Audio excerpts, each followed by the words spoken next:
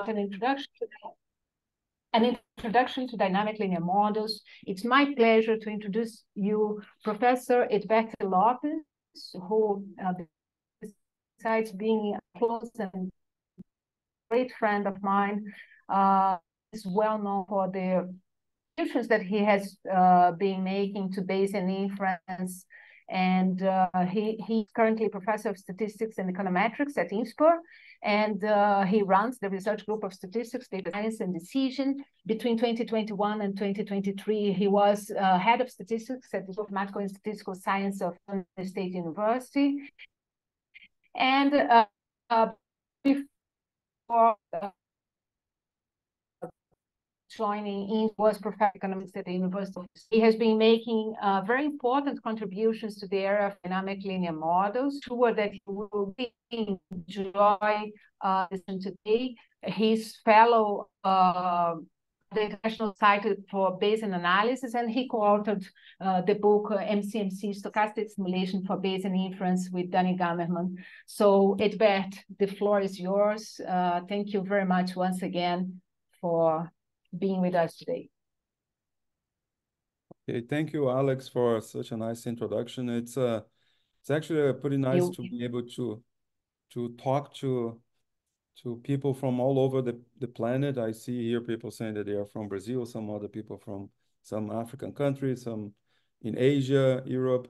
Um, I, are you guys, I mean, uh, I'm going to use some of you to ask if you guys are, you can hear what I'm saying because when you talk in yes, this kind of seminars, sometimes you are talking for him for yourself like for five minutes, and then you realize that the internet has gone off. Uh, I'm in a hotel. I apparently the internet is fine here, but uh, if something happens, I, I guess the idea is to try to reconnect, right? So right now we have uh, uh, 72 people in the room, and um, when uh, Alex asked me to to to talk about dynamic models, I basically went through the slides and stuff that I've done in the past. So in a way, might sound like you see notations. They're a little bit different here and there, but uh, hopefully that will be compensated by the so the level of the basic level of the examples and illustration and the code that I provide uh, with my my examples, so you can go and rerun uh, some of this um, analysis. So because we only have one hour and a half and as we keep talking and hopefully you guys going to ask questions so please do ask questions because we can compile them and and see if we can go back and try to answer some of them. Okay so i'm going to go and share my screen and uh and see if we are able to let me see go back here to the beginning. So this this set, first set of slides as you can see in the way that i I outlined it. I'm gonna minimize the, the screen here on the corner so I can I see my own slides. And let me know if when I do that, we'll go on the full screen. So why it's not going to the full screen now. View full screen mode. Is it full screen for you guys as well? Yes. I mean, of course, it's not full because it is full. Has, takes part of your your screen there. But uh, um, in this first, I would say in the first half hour or third of this uh, webinar, uh, what I'm going to do is, you know, briefly review um, dynamic models, but in the class of linear models. So there, for those who are familiar with regression models, think of a linear regression where the coefficients of the regression vary over time. So I will talk about this here in a more general setup, and then I'll show an example of a linear regression, an actual linear regression with dynamic um, coefficients. Depending on the area where you work, uh, some people call those time-varying parameter models. That's particularly the case for econometrics, macroeconometrics. So whenever you see people talking about uh, time varying parameters, what they are basically doing is they are fitting regressions where the coefficients follow state space models, dynamic linear models, the way that I, I will, you know, introduce here. So let's go to the, so let's go straight to the, the simplest of the cases. And the most generic setup. Uh, what makes a state space model, or as I will say here from now on, a dynamic model, that's like a, a terminology that we prefer. It kind of uh, links back to the work of West and Harrison, West and Harrison and Migon, and the research that Alex did throughout her career, and I did myself, Marco Antonio Ferreira, and a bunch of other Bayesians from Brazil follow that uh, that path. And the idea is when you look at this, you guys can see my, the little hand here, right? I'm going to use that as a kind of a mouse a pointer. Um, essentially, in a dynamic model, we don't we don't model directly the dependence of what we observe because the belief is that the, what you observe is filled with noise. It's a it's a measurement error type of behavior. So if you think about y being, you know, like the level of the ocean or y being the inflation of a particular country, we don't observe those quantities exactly. We'll, we go and measure with instruments, collecting a basket of products, and then in the end, we construct this index, this y. Uh, but the hope is that the y is is done or is collected in such a nice way that it does relate to the underlying hidden uh, process, which is this XT. And that's where the idea of the dynamic model comes, uh, comes from. The X's are not observed, but they are temporally dependent, as you can see with those errors. xt plus 1 depends on xt, and xt depends on xt minus 1 but they also influence the behavior of yt minus 1 directly. xt uh, affects yt, and xt plus 1 affects yt plus 1.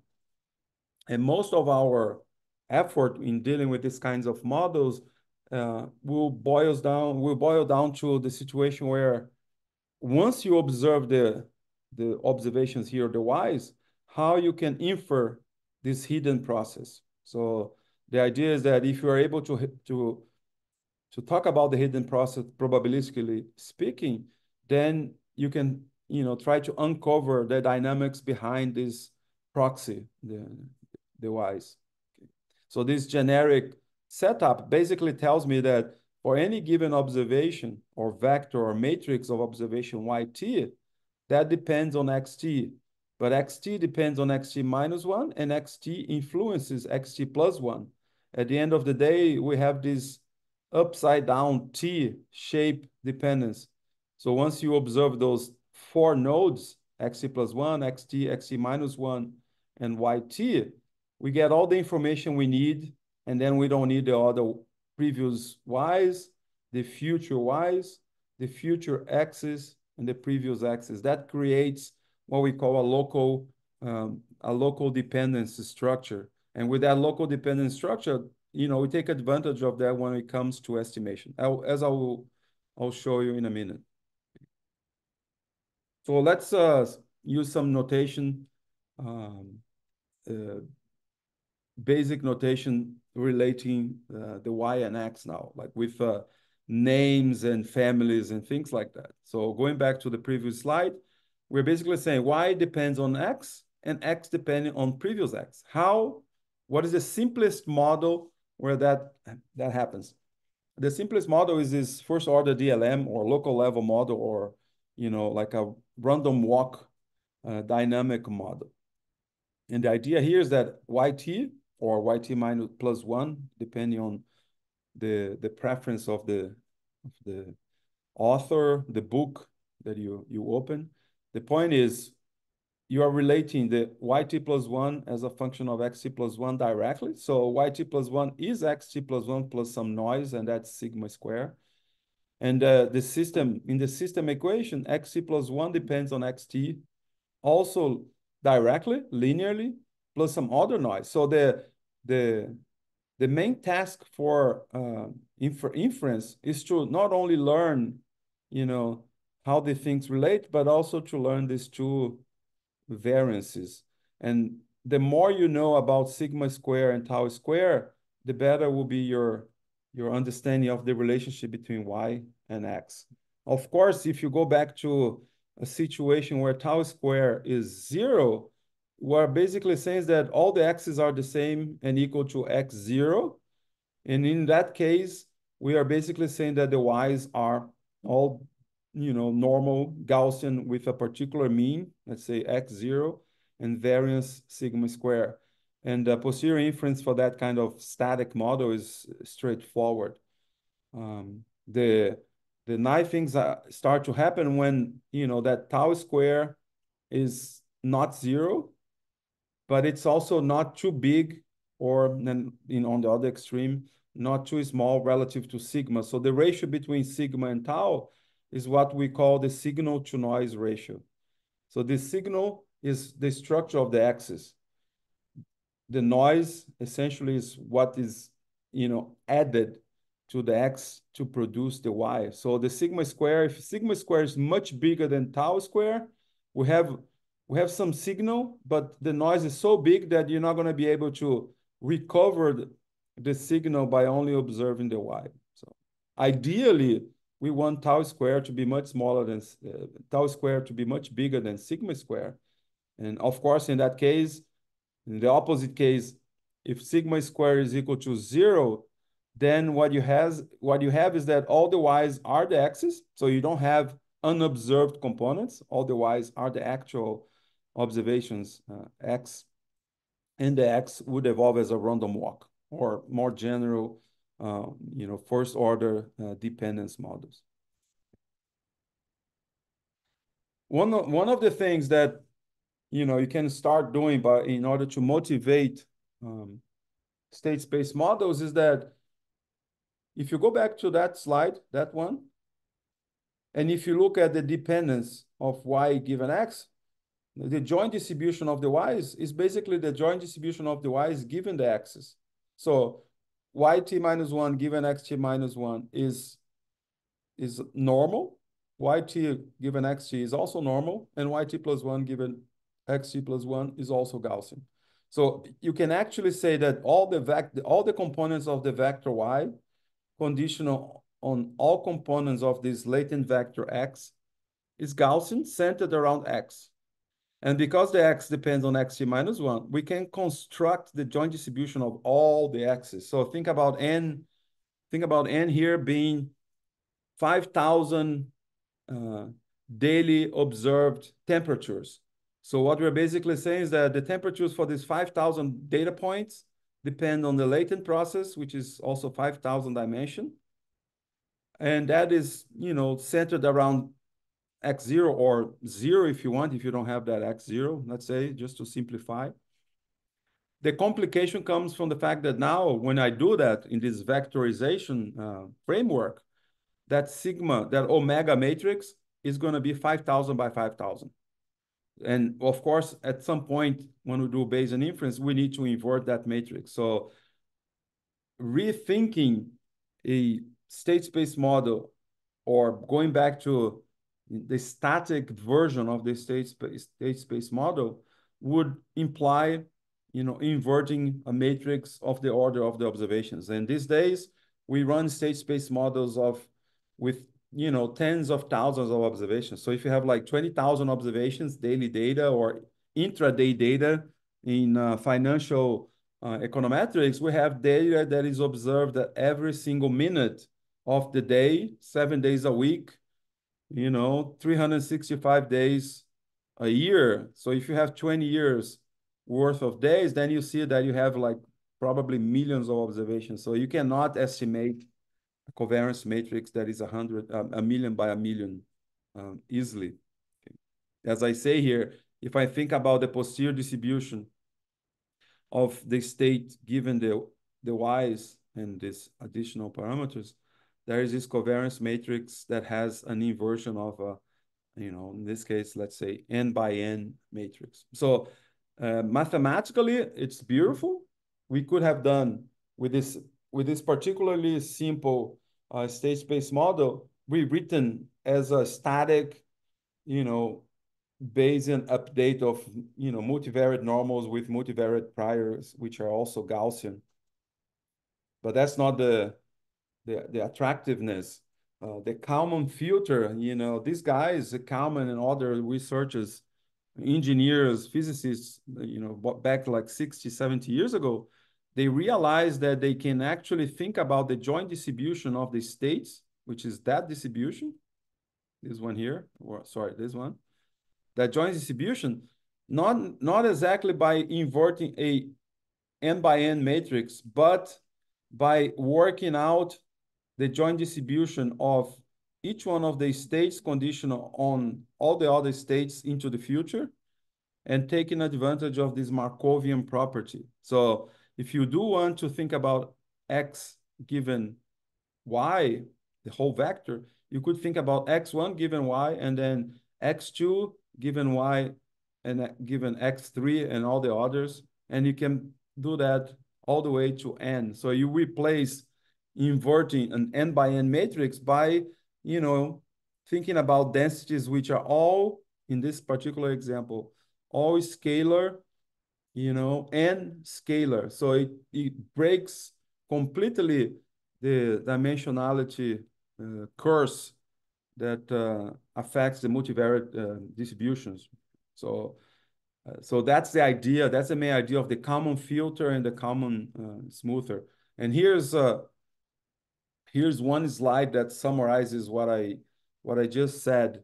What the Kalman filter recursions or the Bayesian update for state space models in the simplest case will do is at any given time, we are here on the left uh, part of this sequence. You know, you have like a particular state. Think about let's let's take the example of uh, um, the the surface of the ocean at a particular latitude and longitude at time t, given the data of all the temperatures you collected, for instance, at that particular point uh, as proxies. when you're sitting at time t, you get the posterior distribution of xt. And then one thing you do is you, you want to go all the way to the right, which is the posterior distribution of xt plus 1 given yt plus 1. So when you, if you find a way to complete that cycle, then you just discovered an algorithm that goes from t equals 1 to t equals n or capital T. Uh, and the steps between you know these moves are very natural because you go from a posterior distribution of xt to something that we Bayesians are very comfortable with, which is a prior. If I think about a variable, a parameter, or anything at, at time t plus one, but I only have data up to time t, well, that's a prior because we are thinking about, you know, the uncertainty about a particular proposition conditioning on existing data. What we actually want to do is to get the, the posterior distribution of that quantity given the data up to that point. So we are back into, you know, the posterior um, setup.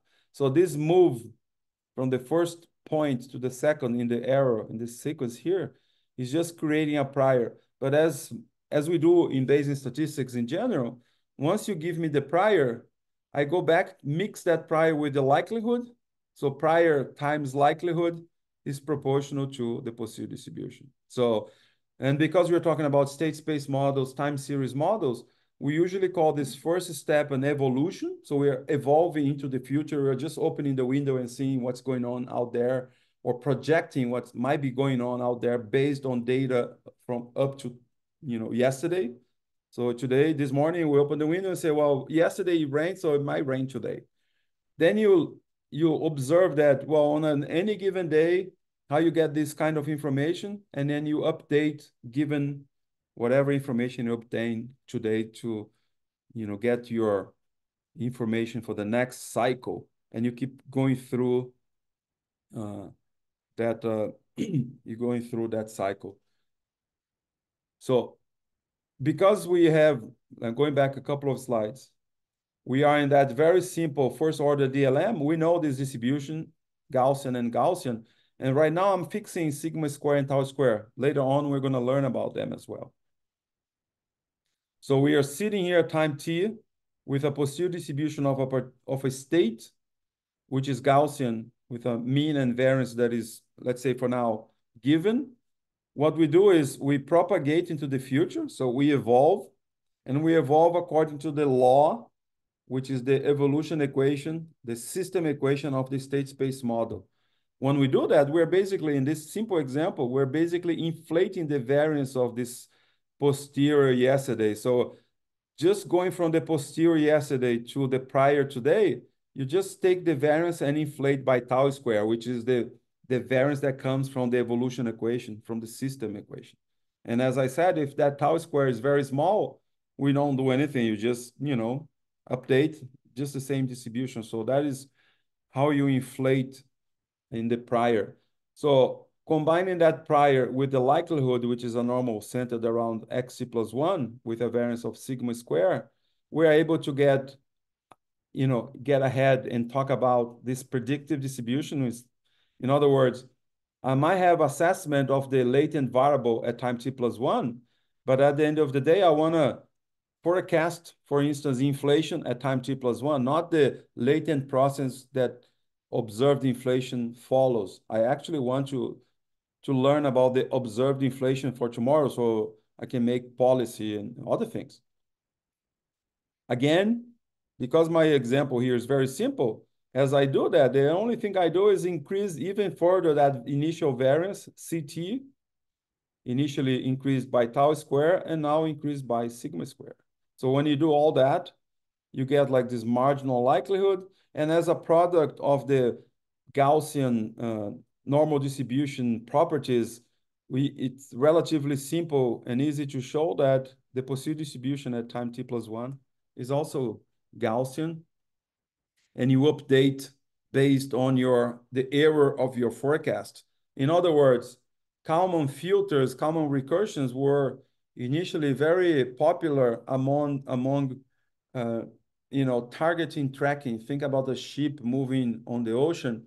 So you have like the ship starts moving, and you realize it's moving way north than you wanted, and then you correct that so it goes back to the the path that was originally proposed. So this is what we're doing here. So the distribution or the state, the ne next position of the ship depends on where the ship or the locations that you observed at that particular point. So you keep readjusting your state equation.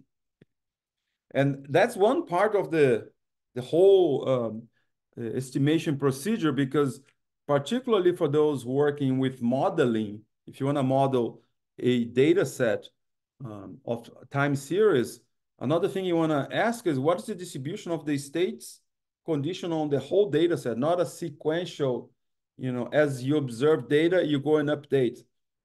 It's pretty common to think about uh, economic examples because if you're thinking about how you're going to predict either the weather or you're going to predict the return of a particular asset tomorrow, you don't have information from the day after tomorrow. Otherwise, you would have used that to, to buy or sell uh, securities when you do this sequential learning, you're actually trying to, you know, increase the power of prediction, learning about the future conditioning on the past. But at the end of the day, once you have the whole data at hand, one question that usually modelers have is that what kind of behavior my data uh, had over time and how that affects the estimation of the hidden process that drove the data through time. So that idea is what we call fitting or smoothing through the data. It's not like the main goal is not anymore to forecast. The main goal is to see if there is pattern that is cleaner than the actual observed data. So you can make, you know, uh, make assessments about seasonality, about uh, structural breaks, uh, regime shifting, and other types of um, uh, anomalies or patterns that the hidden processes uh, will have. Um, let me let me let me see if you guys are still with me going through an example. In this example, I actually simulate data. The data is the are the black dots, and the hidden process XT are the uh, the red ones. Of course, the way that I have here, the red one is inside the black ones because in the, the simplest state space model, what I'm actually doing is simulating the, the X plus some noise, I get the Ys. And as you, you see here on the corner, what I'm basically saying is that sigma square is one, which means sigma is one, and tau square is 0.5, which means that tau is, you know, roughly 0.7. So there is like a signal to noise rate ratio of, uh, you know, 0.7. So it's those errors are very similar. So you see that there is like variability in both time series. The only one that, you know, in a real life setup you're going to observe is the black one. But right now I have the red and the black one so we can see how they behave. And here's how, once you get only the black ones, here's how the Kalman filter works. You see that at any given moment, what I have here are the 95% credible intervals for the forecast or for the fit posterior distribution of the state at time t given the data up to time t in the Kalman recursions. Uh, and the blue dots are the actual, uh, the actual, in this case, the actual axis. We're never going to have those in real life. We never, we never have, you know, a real like you know simulated or real model structure. We we use modeling to to to try to understand nuances of the data. But as you can see, this is like going forward. But what if once I get to time 100, I go back and say, well, now that I already have 100 observations, what is the probability or what's the distribution of X40 given data up to 100? So I go back here to 40 and say, how do I reevaluate that black vertical line at the light of 100 observations. And that's what the next slide is. So here's the Kalman smoother. So we go all the way to the end, and then you, we go backward, re, re-evaluating and making sure that all the data is helping to predict any given point in time. So if I keep going back and forth between these two slides, you can see that the smoothed one is more smooth, of course, but the intervals are also smaller, smaller. You see like bigger, smaller. The main message is that because now we are using 100 data points, we, you know, learn better the structure. Of course, here at the very end, the forward or the backwards, they, they look very similar because in all these cases, you have like more than 95 observations. So little changes are going to happen here. But if you go back to the beginning, you know, as data show up, you know, there's all these abrupt changes. When you do the smoothing, you see here, like, you know, you see that the process is like going up and down a lot in the first few observations. But in the smoothing one, it's always like going up because I'm already looking into the future in order to learn about the, the state. So let's see if there is any any question here. so um, far, no questions. So final question. Okay, great. So I'm gonna continue then here with uh, with another aspect of of a state space models where you have Gaussianity and linearity, which is these days more it's becoming more rare because people are going nuts with all the non-linearities, non-Gaussianities to try to accommodate more realistic data. Nonetheless, if we do consider Gaussian and linear state space models, one thing that people do, uh, which is actually very clever, it's not necessarily a Bayesian, uh, a Bayesian strategy, but it is in sense a Bayesian strategy, which is integrating out all that's all those states. And uh, even if you open uh, textbooks like uh, the structural time series book of Andrew Harvey, you're going to see that they do that because they talk about the likelihood of, of the observed data, which is this one here, without the states. The only difference between what they do and what we do is that we incorporate some prior for the, in this case, the two variances. but that, that P of Y n given theta is the joint distribution of observables given static parameters. There is no the x's, they disappeared here. But I go back a few slides, like these ones. As we go forward in the Kalman filter, we collect this marginal likelihood that, that has no x in it. We have x here in the posterior, we have x in the prior, we have x in the posterior, but we don't have x in the, the marginal likelihood. Well, this is the distribution of yt plus 1 given y superscript t, which are all the y's up to time t. And if I keep aggregating this information, I'm actually getting as a byproduct, this one distribution, which means that I can evaluate pointwise for any value of theta, sigma square and tau square. I can evaluate this function integrating out the axis.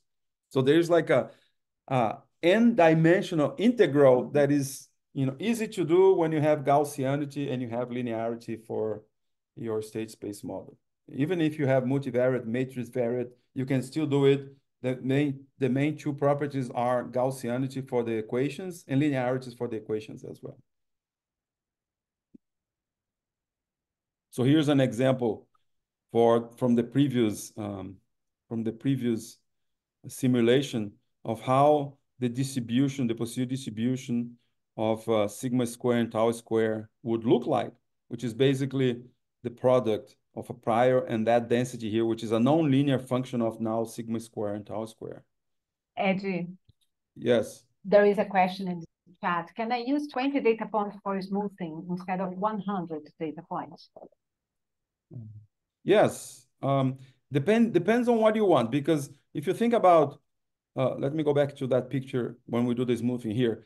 Any, any of these points now, the black ones, are the distribution of a particular x, the state variable, given the information from time one to time 100. Uh, one thing you could do is what we call a look ahead, a look ahead strategy. If, even if I'm looking into the future here, uh, in the forward scheme, one people, one person could just say, okay, how about if I just collect the next 20 observations and do locally the smoothing? You could do that it depends on how strong is is the dependence of the states on its past um, for you to cut in that window of 20. If your state, if the evolution of your state equation is very fast, probably you don't have, you don't need 100 observations. The distribution, in this case here, the distribution, let's say, of y40 given y, x40 given y100 will be virtually the same as the distribution of y x40 given y50, 10 more observations. So you can plot that and you'll see that it's virtually the same. In many cases, the structure that, that, that show the evolution of the state has what we call long memory. This will be particularly uh, obvious when we talk about stochastic volatility uh, in a bit. Uh, in that case, uh, a, a error in the evolution equation today is going to have an impact over the next 20, 50, 100 observations. So if you're thinking about smoothing, then you need those 100 observations until that impact fades away to zero. So I hope that helps to, to explain that. In fact, you're right. You don't, if you are optimizing, you have like a very small computer or you have a very big problem and you want to do like smoothing, but you don't want to do the smoothing with all the data, we have to learn about how many, what is the, how big a window into the future you need to go in order to, when you smooth back, to smooth properly. Uh, for this example here, probably not even 10, like five or six will be enough to get the same kind of results. But that's a good point, and uh, eventually I'll, I'll add a slide like this to, to, to this in the future. Okay, so now we, we're getting to that point where we talk about state space models and say, okay, so how can we embed now this into a more complicated situation? Because in the previous slide, I was talking about one way to think about sigma square and tau square is to integrate out um, is to integrate out the the axis. That makes this function here very nonlinear on sigma square and tau square. But if you go back to the state space equation, sigma square is a variance of a linear model. Tau square is a variance of another linear model, like an autoregressive model for the axis. And in principle, it would be easy to think about this full conditional distributions for sigma square and tau square. But that is only the case when I get back and include my axis. So the idea of learning about the state, the static variables condition on the axis is very appealing but you need to learn the axis. So if you think about the thetas, condition on the axis, and now you think about the axis, condition on the theta, which is the Kalman filter we just talked about. Now you have the whole setup with the ingredients necessary to do like an MCMC scheme for this example. And the idea of that scheme is what we call forward filtering sampling, because down here, we are doing forward filtering, the Kalman filtering. We go back with the Kalman smoother, sample from that Kalman smoother. That's why we get a, a draw. And then we plug in that draw here, and then we sample theta from a particular posterior distribution. And, uh, and when we do that, we those uh, the cloud of points here is basically doing the MCMC for that example, while the exact uh, calculation derived from this picture, which is evaluating this function in a grid for theta for for theta for sigma square and tau, which is exact because there's no no Monte Carlo error here. It's like an exact calculation of a number. Um, and you see that the MCMC works beautifully and the, the MCMC draws, which are the histograms, are very close to the actual densities that you obtain analytically by implementing uh, the, the integration of the axis. So that's the idea. And here sh I'm showing it's this picture is kind of funny because it, it looks like you're kind of dizzy or blind but it essentially shows the posterior distribution of the states given the whole data, but without any um, specific value for sigma square or tau square. And then the next one, I plug in sigma square and tau square, going back a few slides, at that little point there, the dot point. I so I get that point. Sorry, not that one, here in the center of the distribution. And then I plug that point 87.63 and you see that they are very similar. Again, it's a simple example, but these two distributions, it, eh, eh, it should be emphasized that these two distributions are not the same. In the left one, it's like a more cumbersome to get because you're integrating out sigma and tau square from the posterior distribution of sigma and tau square, sigma square and tau square. While on the right, we're actually doing the smooth distribution of the axis but conditioning on specific value of sigma square and tau square. So all the uncertainty over time or into the future about sigma square and tau square is ignored in this you know, red, the red curves here. So what is the lesson from this first order DLM? Uh, in general, here are the structural um, steps, the two steps when you go from a posterior time, posterior time t, which is this uh, integrand here, you actually take that distribution combine with the evolution and you integrate out xt. So you're basically getting rid of xt and concentrating on xt plus one. So you need that integral. When you have Gaussianity, linearity, that is an easy integral. And once you get that integral, which you call here p of xt plus one given yt, you plug that in here, combine with the with the with the likelihood, likelihood and prior posterior. Likelihood is Gaussian and linear.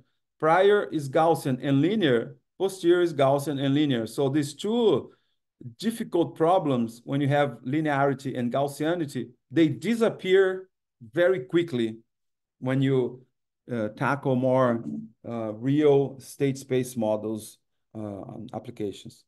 So over here, when I say over the last 20 years, now it have to be updated. Over the last 30 something years, ever since the, the revolution of MCMC schemes in all areas of, of statistics or Bayesian statistics, particularly for those working with time series and state space models, um, you know, here are a few references of 20 something years ago of how you were able to come back to this uh, being able to obtain the distributions on the left, even when the, the distributions here on the right are not necessarily Gaussian and not necessarily linear in the relationship between y and x, and also between x and x minus one. Um, of course, there is like a, a huge number of uh, methodologies, computational algorithms, applications in various areas, and for each one of them, uh, the MCMC scheme or even the sequential Monte Carlo scheme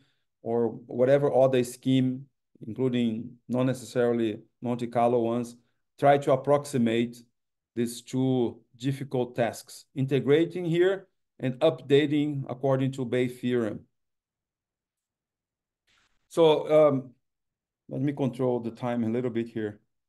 Um, so um, I'm going to go through the next five or 10 slides very quickly, just to show that everything I described in a very simple setup where yt was a function of xt, and now I, the first uh, apology is to is now that I put this in a regression setup, and so the xt became beta t.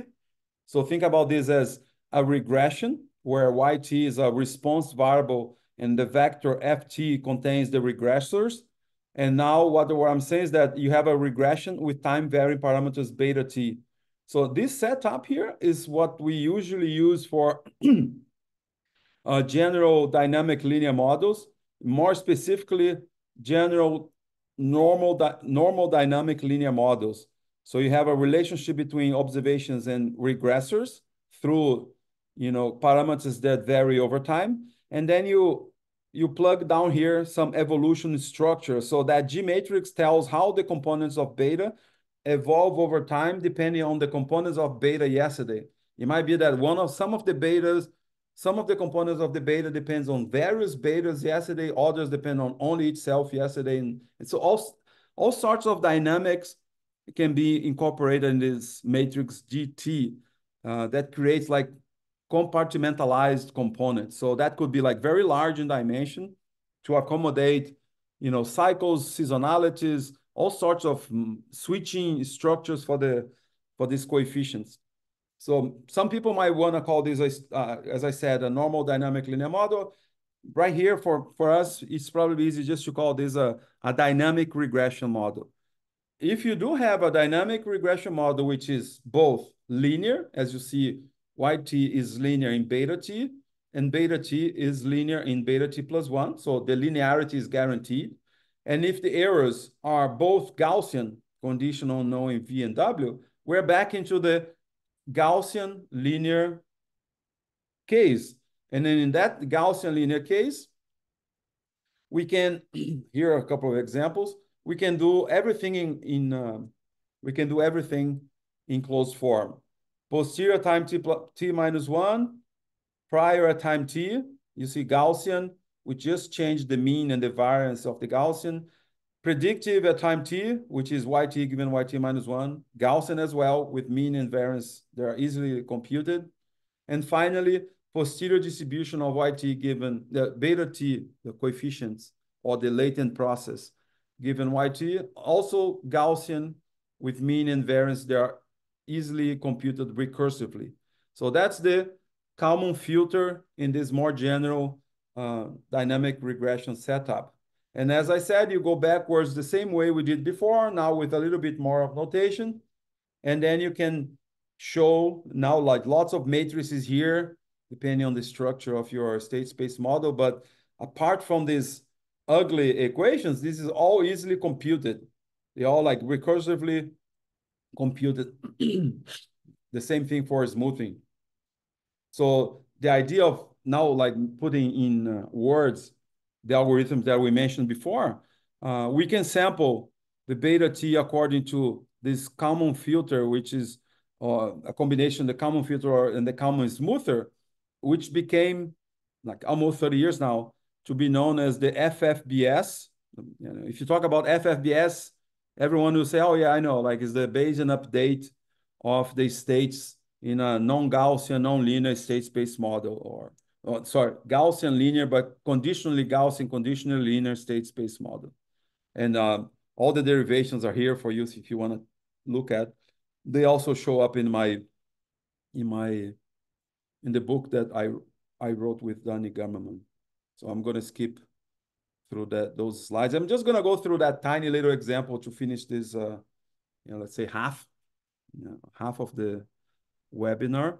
And uh, just to show you what's happening here. So uh, in this case, I have, I'm back into the local, uh, local linear first order DLM. YT is a function of beta t. If you want to change that beta t to xt, we'll go back to the slide number one. and what I'm doing here is that I'm basically saying YT is beta t plus some noise, which has standard deviation equals to one. and beta t is floating around beta t minus one with a standard deviation or variance of size 0.01, which means standard deviation of 0.1, or 0.5, which is means a standard deviation of 0.7. So either the standard deviation is 0.1, very small, or 0.7, very close to the variance or standard deviation of the of the observation equation. So in that in those two scenarios, we add two more scenarios where we only have 100 observations or we have uh, 10,000 observations. So uh, sorry, 1,000 observations, and we replicate. Uh, well, not me, but the paper that's listed down here. Uh, replicate this exercise 100 times, and uh, for each one of those, we do Bayesian inference based on the FFBS or some other scheme based on 20,000 um, MCMC draws. And the idea is that when we do MCMC, we need to we need to account for the dependence of the Markov chain of the MCMC scheme. So we compute uh, effective sample sizes. So it, in fact, we, we take into account the, the serial autocorrelation of the Markov chains created by the MCMC scheme. And uh,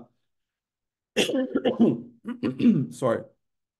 I just want to uh, illustrate comparing scheme one and two to show you one of the main problems, and that will that will appear again in the stochastic volatility example that I'll show at the very end of this webinar, which is, should I sample each one of the betas of every time from one to n separately, plus v and w, or should I try to sample all these betas together? So in the top scheme, scheme one, I have n plus two steps in your Gibbs sampler. And then in scheme two, I have only three steps. Sample beta given V and W, sample V given beta and W, and then sample W given beta and V.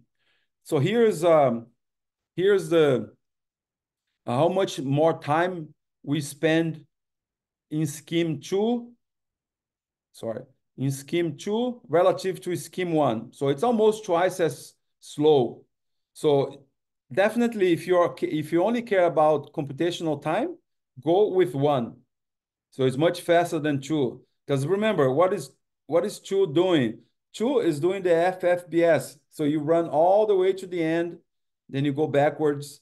So you do twice this this sweep of the observations. In the scheme one, you only do a one sweep. You sample each one of the betas. So it's definitely twice as fast as the scheme two. But here's the, the catch. If you compare, sorry, scheme one here, columns one and two, forget about three, okay?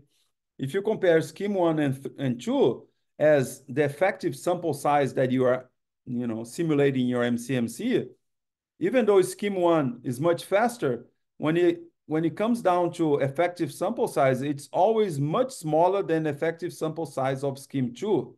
And it's not only twice smaller, because if it was only twice smaller, then it would compensate to run the other twice as fast. But in this case, for instance, it's like 10 times, you know, 100 times smaller.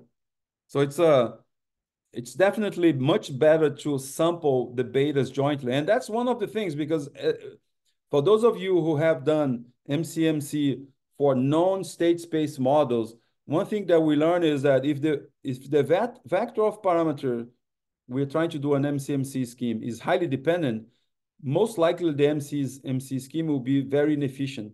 So you try to reparameterize, orthogonalize, uh, do blocking. This is what this was uh, the nightmare of Bayesian statisticians over the last 30 years, trying to find faster and more efficient ways to sample from the posterior distribution. But the thing is, when you step into state space models, dynamic models, naturally the states are highly dependent because if they were very independent, there is no state space model. So the very fact, the DNA of a state space model instantly make MCMC schemes very inefficient. So most of the time we there work we who work with a spatial temporal um, you know state space models, we're always trying to you know, sample in, in general here from something similar to scheme two, where you try to sample all the betas jointly. So that's the main message from um, this, uh, this um, example. Um, there are other extensions. I think I'm gonna stop from this uh, set of slides. Um, now that I have like 75 people here, I'm just gonna go and show quickly where you can find these slides, but later on someone can tell you that. You can go, it's very easy. You can just go to my page. Oh, what is your page? Just my first name, hedibert.org. That will show like a bunch of things going on here. So you go to my teaching and there are, you can, you know, go and, you know, check out what I have in the current teaching, but most of the time you might want to go here to short courses that I've, you know, tutorials, webinars now, and other things over the last, I don't know, 20 years. And uh, the one that I'm working on right now is just like a combination of notes that I have from other places. So you just go to this one and then you can either copy these PDFs or the HTML. So I'm going to go to this normal linear, normal dynamic linear model to show you like quickly because I have everything here that you can you can uh, replicate. I'm gonna make this a make this a little bit bigger. You can see what I what I have here, right? It's. Am I talking to myself? Yes. No, no, no. We are All here. Right. And actually, so, I have I have a question for you, but uh, go ahead. Yeah, so I'm just gonna I'm not gonna go through these slides because it's basically the same thing I had before. You know, I, I give this all the things here, but the, the beauty, which I think would be beautiful for those who are not too familiar with this notation, is that I mix all these, you know, derivations, and I have here the R code for that. So you can actually learn and run this code and see what's happening uh, throughout the, the, the, the analysis. And say, oh, but uh, do I have to copy and paste the pieces of the of your R code? No, you can just go here to the top right and you can download the R Markdown, and then you can actually reproduce this slide that I had prepared here like about a year and a half, two years ago. So this is like uh, R Markdown is basically R with LaTeX inside of it, and you run that in R Studio, and you're gonna reproduce lot of lots of nice pictures, just like I had in my old slides, for instance, here. Like for instance, here I simulated some data. There was like uh, like piecewise constant, and then the state space model is learning forward that you're actually moving from level four, then level one, and then level like minus one. And then you do the, the backwards moving the same way, and then you show how the things evolve. So this set of slides is like a combination of everything I talked about, but for the simple linear regression setup. So uh, go ahead, Alex. Uh, thank you, Hedibert. This is really wonderful because uh, uh, I'm sure that uh, many people like me in the audience are excited about uh, having access to this material. And this is very much in the spirit of this webinar. But I have a question. Uh, is there any relationship between dynamic linear models and ARMA models or ARIMA models? And if, yeah. if there is, why do you prefer dynamic linear models to describe the behavior of a time series? Yeah, that's a good question. In fact, if you go to the, the beginning of the Bayesian approach to time series following state space models, the motivation is to show that if you have a first order, if you have a first order DLM, you are basically mimicking an ARMA 1-1 model. And if you have a second order DLM, you have an ARMA 1-2. So there are some connections between the two. And I think the main, the main difference is the fact that when you when you think about ARMA models, you are in a more parsimonial setup because you you translate the whole dynamic of the of the Y into this, you know, these filters. And in the state space model, you you always uh, you always have uncertainty about the states, no matter how much observations you get. So there's a second level of uncertainty that could be it's usually a pain in the ass, but it could be beneficial for you who are modeling more complex uh, scenarios. So I I think that's one of the the explanation. But I do recommend reading chapter I don't know two or three of West and Harrison where they talk a lot about the relationships and how relatively simple state space models with static variances they once observations are collected they converge to ARMA uh, AR and ARMA moving average uh, processes. Yes, thanks for thanks for the. So they are related, right? They uh, are related. The, the, and and actually, dynamic linear models are more general, at least in my view. Uh, I, we have a question in the chat. Are the results likely to be different if you use a small sample size or very large sample size? It depends. Uh, if you're if you're talking about learning static parameters, no, because in, if, even if you are talking about this this simple example here, if you're talking about a simple simple state space model, let me make this bigger. In this one here, the first equation I have beta t and sigma square. The second equation, which is the evolution, I have tau square. So if I'm learning about sigma square and tau square, even if I do have a latent process, which are the beta t's, the time varying parameters, the observations, the, the law of large numbers, central limit theorems, all the asymptotic results will say that after 100, 100 observations, you're going to learn relatively well sigma square and tau square. Yes.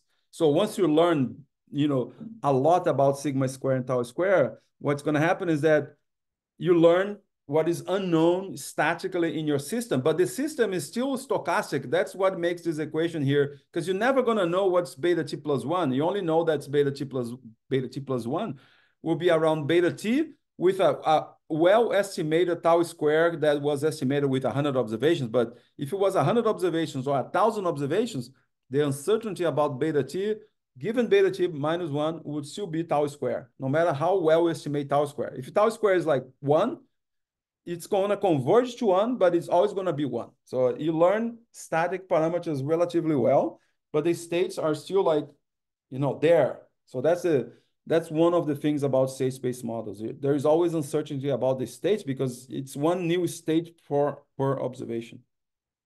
Any more questions? Let me see. Mm-hmm. What behavior should the data poses for us to know that the dynamic model is adequate? Um, that's a good question. Um, it's not like a, um, you don't look at the data and say, oh, this this is better um, estimated by a dynamic model than by a non-dynamic model. Um, model comparison, model checking, uh, in model criticism is part of uh, state space models as it is in any other area of uh, statistics for Bayesians. So when I say I'm going to fit, when I'm going to model the Y's here as a linear model, in this case, linear regression, Gaussian with a static sigma square, and the, the, the, the time variant parameter is going to be just a random walk around tau square. This there's like six or seven assumptions here that all should be or must be questioned. And you do that by comparing like Gaussians and student T, nonlinear models, time varying sigma square, time varying tau square, a bunch of other models. So you're, you're still, there's no answer. Okay, this is the best model. So you have to compare in a class of models or compare to alternative models. So like, like Alex was asking a few minutes ago, oh, what if I get the same problem and do like an ARMA structure? So which one will be the best? Well, it depends what you mean by best. It's like out of sample forecast, model fitting, interpretation. So each one of those um, goals will lead to models that might be more or less complicated. Let's see. Let's see. there is a second question. Yeah, is there a vector version of the model where the x's and the y's are vectors instead of yes? Uh, again, if you go back to most of the state space models in uh, uh, West and Harrison chapter four and beyond, you have not only vectors for for x's and y's, but you might have matrices for x and y. And if you go even further, there is what we call like these arrays. So you could have like these uh, tensors. So you might have like three or four dimensions in x and why and then you try to model those things dynamically. So I, I don't do that research, but I've seen you know people working on things that are that are like that. Yes, but the most the most common extension is, for instance, the most common extension is to think about the y as a vector of macroeconomic variables and the x, all the, the lags of these y's in a vector autoregression setup. So in this case, you have like 10 variables, and uh, on the on the on the right hand side you have a hundred lags for those 10 variables.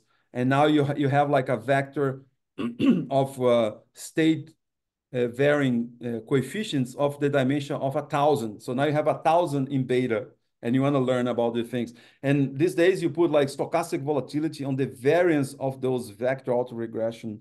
And uh, because we're getting to a, a, point where the dimension of the y's and or x's or betas are increasing drastically, people started to talk about sparsity inducing priors to make many of these coefficients go to zero, either statically or dynamically. So the research in this area is very vast. And now I'm going to make some uh, advertisement. You can go to my page and go here on the papers. And if you look at not only not necessarily my papers, but if you if for instance, if you look at these papers that my one of my PhD student have worked in the last few years, they talk, for instance, dynamic portfolio allocation in high dimension using sparse risk factors. So if you go to the literature there, you see that people are using uh, sparse, you know, structures for for that. Like in this other paper, number six, dynamic sparsity on dynamic regression models with uh, Paloma Uribe, one of my former uh, PhD students. Uh, you have slides here, you can check. So that's uh, state space models in only in one a tiny little direction um, of uh, research. So any more questions here? No, I don't think so, right? Because in the no, Q and A, so it's empty now. Yeah. Mm -hmm. Okay, so let me. So that was uh, in my in my setup. That was the slides. The the se second group of slides. I'm gonna go to because I only have like half an hour, a little bit less than half an hour. I'm gonna show you like some slides that I prepared some uh, some time ago, but I think that is already here, open somewhere. Let me see. Because I don't want to, I don't like to open PDFs on the.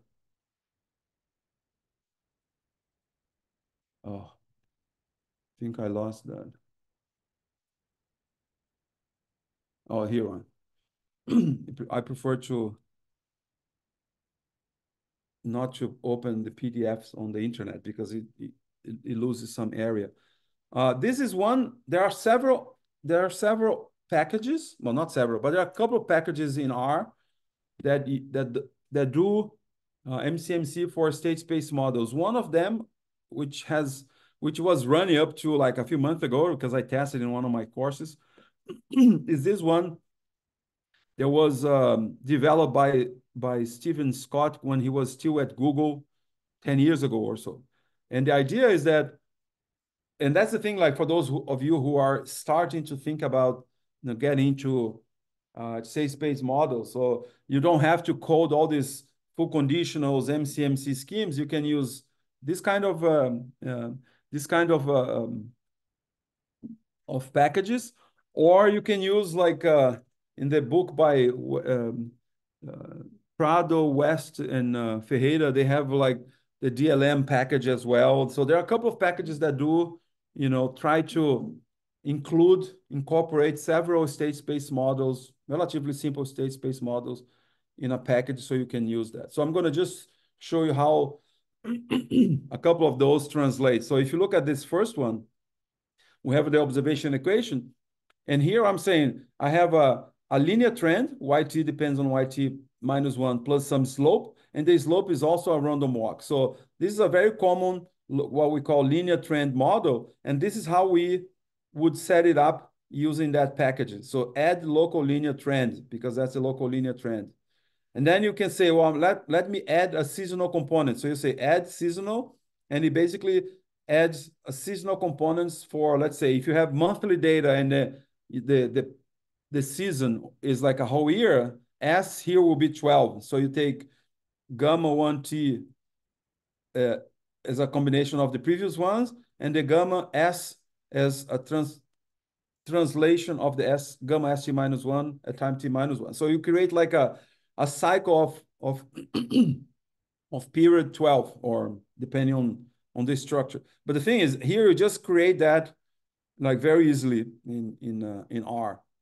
And if, oh, but you could also add like a seasonality that is trigonometric, which means like you have like varying, uh, time varying, uh, you know, periods and frequencies for the, the seasonal components. So here's one data set that is very famous. Everyone that does time series, whether Bayesian or not, whether state space model, ARMA model, is this airline data. This airline data is the number of passengers in a particular company over the years. And here is probably already transformed to the log or whatever. And uh, you see a clear pattern. So what we do here is say, oh, how about if I model YT as a, a trend, which is a second order trend because of this mu and this the delta, plus um, gamma 1t, where gamma 1t goes down here with the seasonality. So it's like a, a, a linear trend, like a intercept, a slope plus seasonality. So you see that this model has a bunch of uh, latent states. And uh, you want to learn about all these variances here on the on the right, the observation variance, the level variance, the slope variance, the seasonality variance in the state space model. How would you do that? So you start the package, you get the data, like you can just copy and paste my slide and then run that in R. So install the package, upload the package, get the data, air passengers, call that log of the air passengers. And then you say, add local linear trend to Y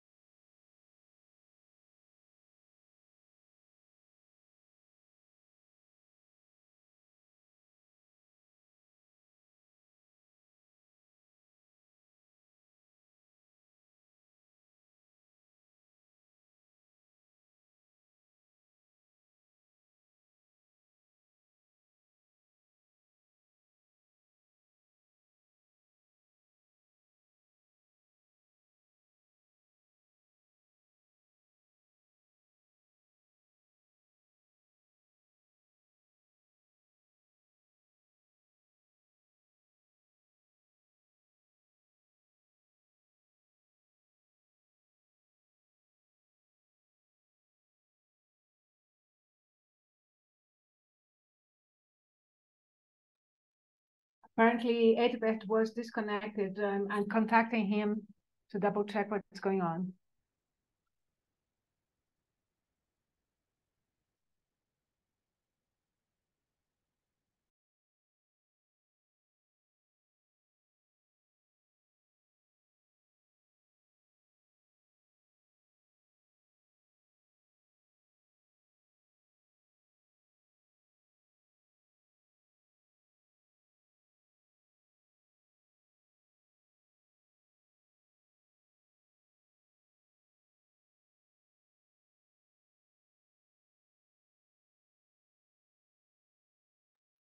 Hi, everyone. I'm contacting Hedibert to double check what happened.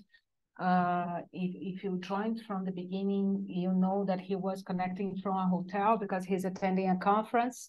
Hopefully, he will be connected. He will be back with us soon. Actually, I thought that I was the one who got disconnected for a minute. I'm just going to mute myself. I'm going to try and call him.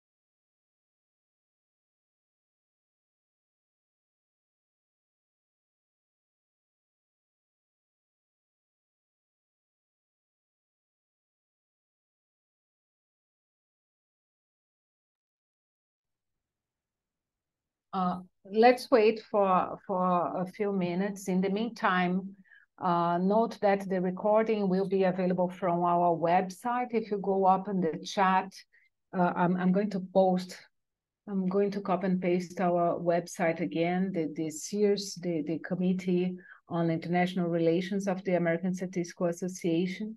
So if you like, uh, you can download all the material uh, Donna soon will uh, post the link to his website where all the material for this webinar is available. Uh, when he got cut, he was showing uh, how to fit a dynamic linear model for for the airline data using the BSTS package, if I'm not mistaken, by Steve Scott. Uh, but it's already 112 uh, in Eastern time. I'm I'm busy. I'm now in Rio here. It's 3:12 p.m. For Pritam is 1:12 a.m. Right, Pritam? And I see that all of you are in different time zones. Uh, if you do me, please to help us complete the evaluation form that uh, Donna uh, also posted the link in the chat. This helps us uh, reviewing uh, the, the different sessions. And if you do have topics to suggest that you think it would be interesting and would be very much in the spirit of this webinar, uh, please let us know. You can contact any of us. So there he is, he's back. So Eddie, I was telling them that you were in the middle of the airline. I was just reviewing and and uh, asking them to to. I, yeah, I don't know what I don't know what happened. I I think I realized like a few five minutes later that no one was with me here. So I, I'm gonna go back to this example. Okay, great. Let me go back here. Uh, I think I was doing that. I was doing that yeah. outside. I was doing it here. Mm-hmm. Okay, so I, I apologize for that. So I think this is a nice example because it shows that if you, for instance, if you use a seasonality that is just a dummy for each month of the year, and you put embed that into a state space model, mm-hmm. uh, you get a, a trend, which is this wiggling, you know, moving up. But the seasonality is basically saying every single year seasonality is the same. You know, when you look at the data, uh, it's it's clear that at the beginning the seasonality doesn't behave exactly as it is here and the, at the end. If you look at the last one, two, three, four, five years, it looks a lot more like each other than the first couple of years. So when you do models, state space models with um, with this trigonometric seasonality that allows the, the seasonality also to vary over time more, more slowly, but still varying over time, then you see that the trend becomes almost a line. So it, it, as someone asked a question, uh, how do I know if a model is good or not? In this case, I would simply say, drop the linear trend of this state space model, just get rid of like a deterministic line that evolves over time, because that's basically what this is, and just model that residual with a trigonometric seasonal component. So that's like being pragmatic about making your model a little bit less uh, uh, complex because part of the complexity disappears when you actually incorporate uh, seasonality that is more, more, more general. So what I was about to say when my internet here uh, vanished was that uh, I wanted to spend, and now I guess not 20, but the next 10 minutes or so. Uh, if you, are you guys still here? Yes. Okay. I, I, will I will keep my camera open such that you know. Okay. I'm gonna keep this little corner here so I know that you're not frozen. not frozen from the movie, but frozen Alex. Yeah, please. one example that I've been working forever, one kind of problem that I've been working forever with state space models is modeling uh, variances over time. And there's like a whole literature on variances that follow the ARMA type behavior, like the Arch-Garch type models. But there's also this other class of state space model people that do state space model looked at that problem and said, well, you could do, you know, like a state space model for the variance as well. So I'm gonna motivate quickly with this data, the S&P 500, which is an international data everyone knows is the is like a, an index in the US stock market that is based on 500 companies. So it's very uh, informative about you know the, the, the behavior of the economy or the the market in the U.S. So here I have like this data, and as you can see, I have uh, in as in the previous um, set of notes, I have these slides, so you can just go and and download the data and get everything. So here we have like the S&P 500 over the years for, in this case, for only like five or six years, we have like 1,200 observations. And you see it here we have probably the, the COVID period. I remember that I didn't get COVID at the time, but I lost all my money, but eventually got back here, my health. And, and not, this ends in March, May 2022, there was like a crisis again and go back up. So one thing would be nice to update this, this example with data up, up to here. But people don't care about the necessarily about the price because it's almost a random walk. What we do is we try to model the, the returns. In this case, log returns. So log returns has this pattern of over time, it looks like it's small variance for a long period and then like an avalanche of big variances up and down, like big returns, small returns. And that's when you look at the, when you look at this picture on the left, smashing it on this y-axis, this is the histogram we get. So if you get everything together, it looks like it's not Gaussian, but that's because you're not taking into account the time behavior. So the first model would, see, would be like, okay, how about if I just think about this as IID? It's not going to work. It doesn't look IID, you know, as you can see here. And then we model as a student T and we learn about the, the degree of freedom. So nothing, nothing um, state space uh, oriented yet, you know, just like talking about, you know, learning about the stochasticity of this data. And here's the histogram, and you see that the blue one, which is, I don't know, let's see, the blue one here is um, uh, a student T with uh, the nu hat that comes from this search here, which is probably true. So a student T with two degrees of freedom fits that data better than the Gaussian. So the Gaussian is the red one, pretty bad. The student T with two degrees of freedom, almost like a Cauchy distribution, takes all the tail. That's great because you know you're getting better than just looking at the Gaussian um, variation of the model. But there's still no no uh, no information about time varying variances uh, in this case, and that's where we enter with this model. I'm going to make this bigger because this the the the font here is really bad. So let me make that bigger. Where's that? Okay, right here. So in this case, look, uh, I, I, still very bad. I think this you, you guys can see what, this uh, expression relatively well now, right? Yes. Well, basically saying that you model log returns, which is the YT. When I say that there is like a constant here or something in front of Gaussian zero one errors, that's basically saying this is the standard deviation. So the standard deviation is modeled as an, an exponential of HT. So HT is the log of the variance. So we do that notation because we want to model the log of the variance because we don't like to model positive numbers. We like to model real numbers.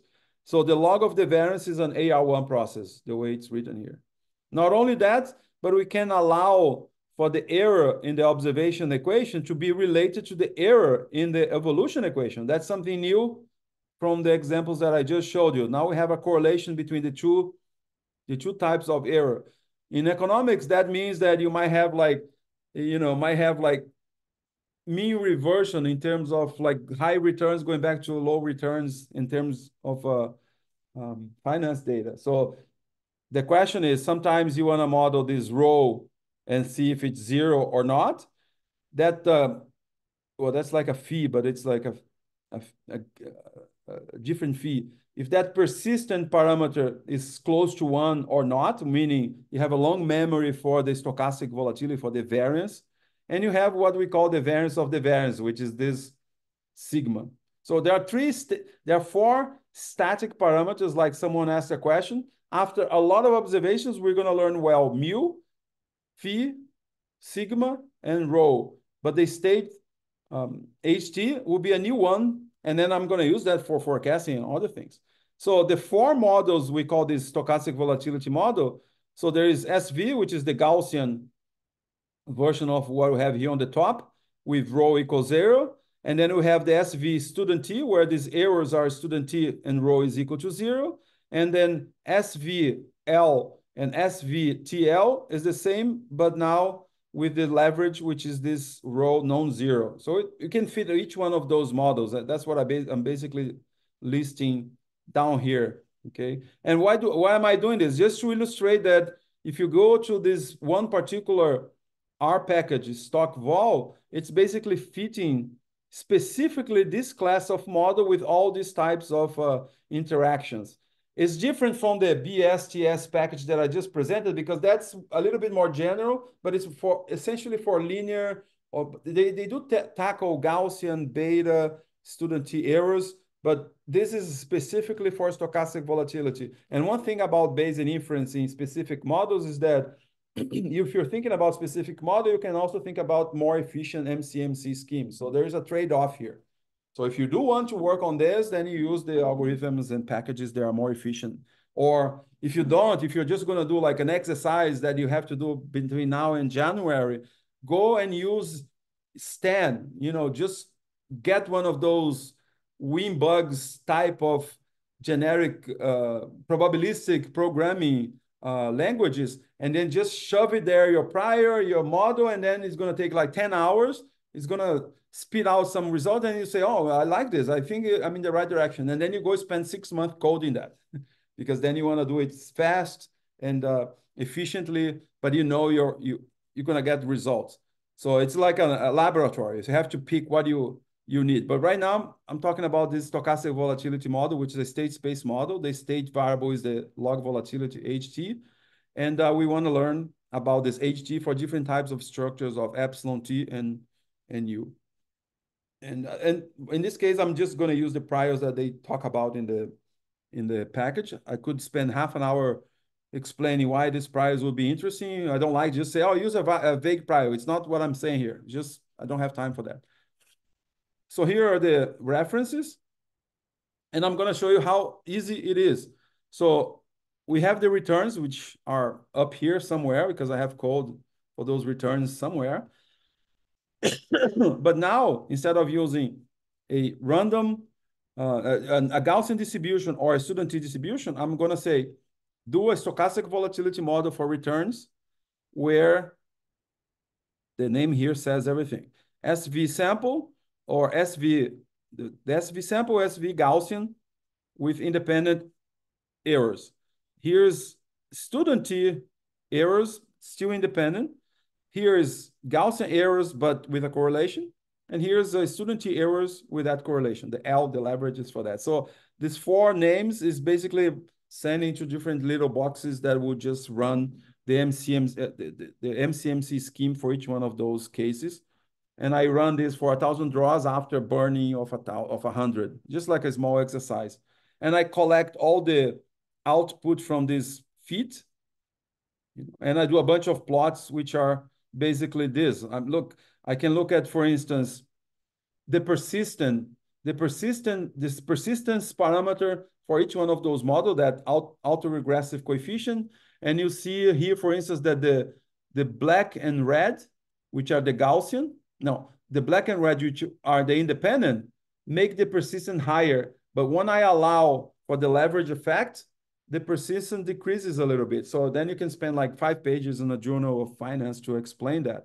But here's just like feeding all these models. And of course, some of the models have parameters that others don't. For instance, rho only appears in a couple of models, and uh, student T also only appear in a couple of models. Uh, basically saying, well, you see, like, of course, I probably need like more than a thousand draws here. This was uh, was just lazy to to make that example. But when I look at the log volatilities, even though the parameters are all different with all this variability, but the variability is not that big. When I look at the point estimate of the volatilities, they are not very different. So you're estimating the state processes relatively well, you know, here in the log scale but I don't understand log volatilities. What I do understand is standard deviation of the actual time series. Then you go back and you get the standard deviation. So you see that the standard deviation go from zero to 0 0.07, but most of the time are less than half of 0.01. And, uh, and here, of course, there are moments where much higher than the other ones. That's relative to the static models that I, I, I printed at the beginning. Uh, and here I just separate them to show like how these models uh, relate. You see that on the top one, we don't have this um, leverage effect, this correlation between the errors of the two equations.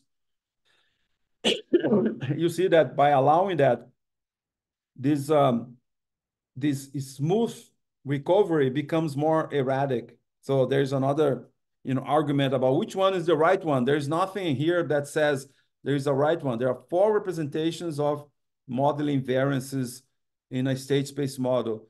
You have to pick your metric to compare them, how this perform in the future, how you create portfolio allocation based on this. uh, if you do simulated data, that's another thing. You could do like out of sample mean square error, but usually that's not what we we tend to do. Let's see. Oh, here I just pick like a stretch of the data just to see how they differ. Because I mean, it's not easy to see what's going on between like zero and 1200 observations. But when I look at only 300 observations, you see that they are more or less smooth, depending on what you what you want to do. Okay. So um, I know it's it's kind of crazy because I went. Uh, what did we say? Let me do that. Uh, I went way too fast. But if we go here to where I mentioned on the page, uh, what I was trying to do is basically, you know, I gave you like a, a brief overview of state space models, linear and Gaussian. You have um, R code and R results on two and four, and three is basically one one of the various packages you could do based on state space modeling that is available in uh, on the internet. Uh, if you look at, if you visit Alex's page, you're going to see a bunch of state space models in, in applications in spatial, uh, in spatial uh, space-time uh, structures. If you look at my own papers, you're going to see like that many places as well. For instance, stochastic volatility models with uh, skewness selection. That's something that one of my PhD students is doing right now. Um, let's see another one here quickly. Uh, uh, Hedibert, we have a question, which I think yes. is a very interesting one because I hear this all the time. In some of the shown examples, there might be overfitting issue. DLMs involve several parameters which might, might be eventually overfitting the data. How to tackle the, this issue with DLM if this is the case? Yeah, well, good question because the point is, what is what is um, the purpose of of uh, feeding or learning uh, structure using state space models. If you are doing like forecasting, then it's easy to to to talk about overfitting because you can always like see how these uh, models extrapolate out of the sample or extrapolate out of a particular square in terms of uh, interpolation and stuff like that. And you can say, look, even though within the sample I fit very well, but out of sample I, I screw up. So that's a way to control for overfitting.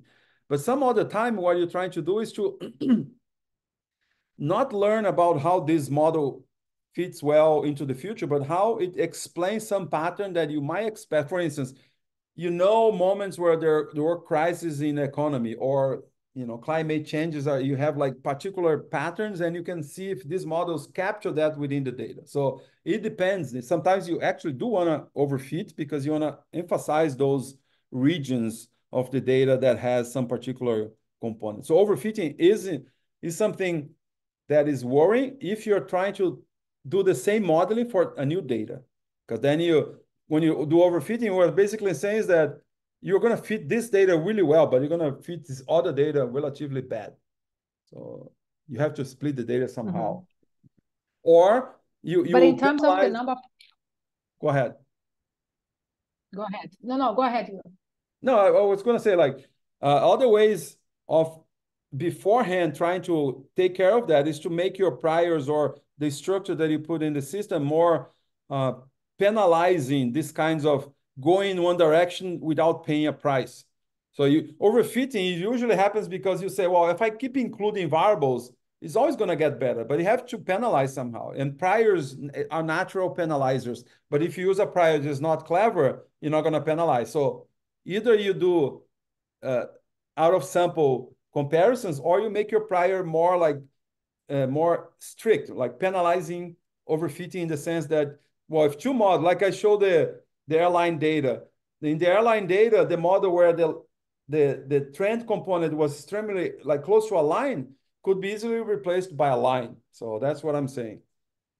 But also, I really like your uh, first slides where you show the effective number of parameters that you have in a DLM that basically you have the one the initial information and the variances because uh, because of the the evolution equation you can rewrite everything in terms just of these parameters. So sometimes i feel that people misunderstand this that although you have all these uh, these state parameters effectively when you substitute the, the the the, evolution equation it boils down to fewer parameters. Yes that's that? a good point.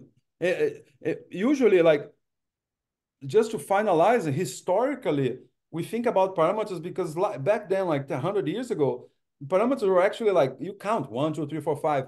But every time you go from an equation of observables, conditional observables, and parameters, and then you you go and fancy yourself including another level, then you're done because the next level, when you shrink parameters towards one another, the notion of the number of parameters disappears because the, the amount of shrinkage will say that you, 100 parameters become two in, in a way, or three.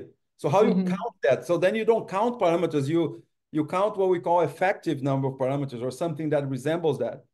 Yeah. But that's a good that's a good point. And I, Timothy. I mean, if you go and read the the DIC, the deviance information criteria, these guys they do take care of that in some cases. Uh, Timothy has another question. Can you integrate DLM with spatial temporal models and how? Just to remind you that we are already at half of the hour, so yeah. just for the sake of time. Um, integrate not in the sense of integration of Monte Carlo errors, right? You mean like combining yeah. DLM? Can you yeah, incorporate? I mean, just go to Alex's website and you're gonna find like a 10 papers on that. I have a couple here as well that I wrote like with Esther and and and Dani millions of years ago, where we do like a, a spatial temporal factor model, which is just combining everything. But yes, this is something that exists. There, I think in the book by um, what is that famous book that Alan wrote with uh, spatial uh, temporal uh, spatial Banerjee, like with uh, it's Banerjee, uh, Carlin, and Gelfand on yeah. spatial temporal models. Yeah, they yeah. do have a chapter on uh, how to incorporate uh, spatial structure into dynamic linear models. Yeah. And the other book by Cressie and Wikle, the Wikle, whatever, they do have that as well. Like they have another book completely on that. So I think yeah. the literature is vast in that. So you, Indeed. If, if you don't find, just email me. My email is my first name, Hedibert, at gmail.com. Great. So for, it's already 35. I think we will end here. I would like to thank everyone who showed up, uh, but especially Hedibert uh, for a very interesting webinar. I love this topic. And uh, as usual, whenever I see him talking, I, I learn something new, although it's a topic that I know for quite a while.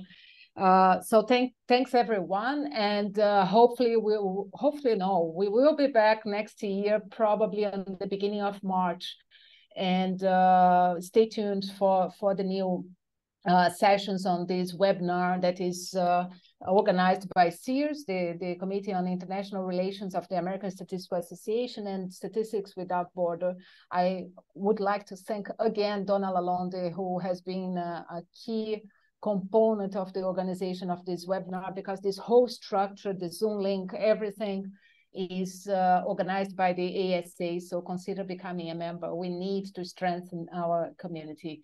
Uh, with this, uh, I end here and I wish you all happy holidays. Take care. Hope to see you in 2024. Thank you, guys. Take care. Have a good night, good morning, good afternoon. Yeah, exactly. Good afternoon, wherever you are. Exactly. Thank you, everyone.